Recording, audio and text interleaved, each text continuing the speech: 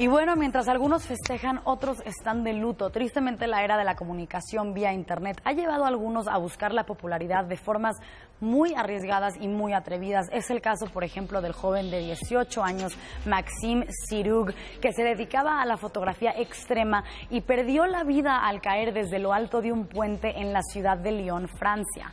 Era conocido en Internet como Sirugu y se distinguió por lograr fotografías muy muy arriesgadas. Por ejemplo, escalaba arquitectura urbana como edificios y puentes sin ningún tipo de seguridad y usaba solo la fuerza del cuerpo para subir. Llegaba a sitios alejados y altos para tomar fotos poco comunes y esto provocó por supuesto un crecimiento en redes sociales y aunque apenas empezaba a aumentar su número de seguidores, ya tenía más de 12 mil, hizo algo demasiado arriesgado que terminó en tragedia. Así que pues lo lamento muchísimo que en paz descanse y mis más sinceras condolencias a sus familiares.